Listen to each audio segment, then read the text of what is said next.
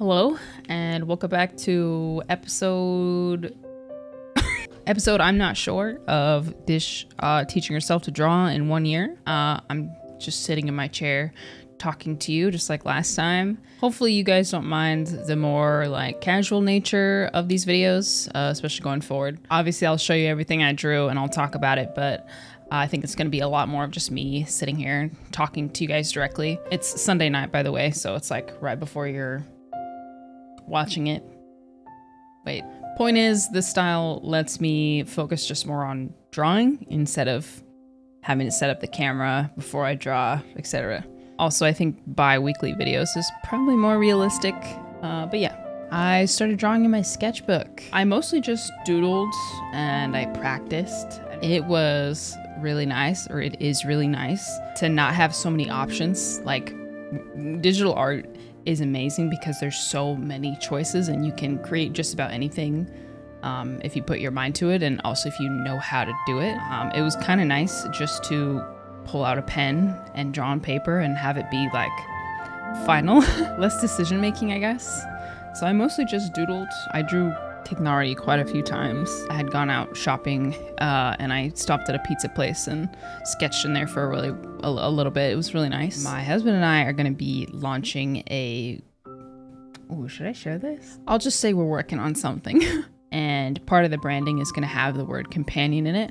So I was tasked to draw the logo for it. It was really nice just working with pen and paper um, because I was able to kind of move from one idea to the next. I obviously wasn't erasing anything. I could go back from if fifth hand that I drew um, to the first hand that I drew, and one idea turned into another. And I went from two people raising their hands to the I love you symbol in sign language um, to two ghosts holding hands. And uh, this is the one I ended up translating into digital, and this is probably the one we're going to keep. So, drawing in the sketchbook, I'm going to definitely keep doing this because it was very final in some senses, but it was also very low. Like, it's a sketchbook. Like, if I mess up, it doesn't really matter because there's a hundred, there's 200 more pages in here, and no one's really going to see it. Well, actually, that's not true. You guys are going to see it, but. as a general rule, I'm the only one who has to see it, right? I feel my style kind of forming in small ways. Like I can see my my natural tendency when I draw faces and when I draw like hair. Uh, it's obviously all very undeveloped and unrefined, but I do see my style starting to form, which is very encouraging because when you first start drawing, you just you're just drawing and hoping that it somewhat resembles the thing that you're trying to draw. you're not really worried about, you know, does it look like? Does it have my signature style to it? But I feel like my style is starting to come out in small ways. I definitely feel more motivated to continue. So yeah, uh, that's what I did this week.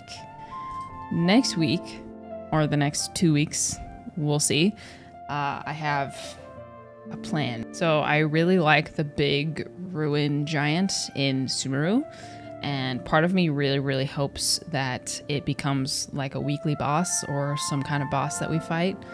Um, because I just think it would be so scary and overwhelming. And I want that. I want like a Dark Souls level boss in Genshin. Uh, so I took a couple pictures at the site, which I'll show on screen.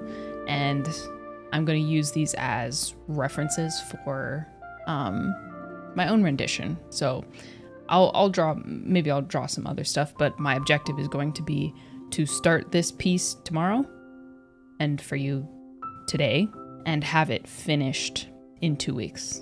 Uh, completely finished, polished. Yeah. So I'm very excited. Um, I feel very inspired by it. And I'm going to rely on my references. I'm not going to be too hard on myself. I saw I saw a tweet today. Wait, I should pull it up. I saw this tweet and it says, "Don't know who needs to hear this, but you literally won't progress in any skill or hobby ever until you accept that you will think your early stuff is cringe and it's okay to be cringe. You don't have to be cool and perfect and suave for others all the time. Just be cringe.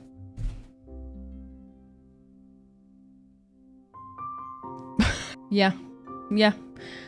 I don't know. there's nothing really much to say. This kind of encompasses everything that I'm trying to show with this series. It's really uncomfortable for me to be showing pieces and and like drawings that I'm not proud of and that I don't objectively think are good, but I know in my heart of hearts that it is important to share with you. You know, maybe it, let's say I went a more traditional route of learning something and I just, you know, you guys saw the finished products on Twitter and I only started sharing when I was actually proud of what I did.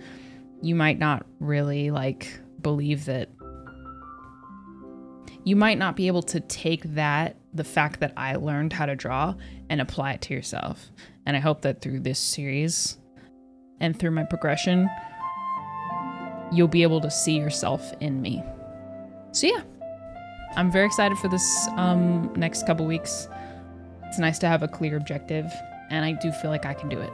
So, yeah, I'll see you soon. Tomorrow it's a little sneak peek. You're gonna see my first um, Tower Fantasy YouTube video. So if you're interested in Tower Fantasy, check it out. It's like it's the game I play the most offline. Um, anyways, that's tomorrow. I will sign off here and wish you luck on whatever you're working on. Cheers. Have a great week. Bye.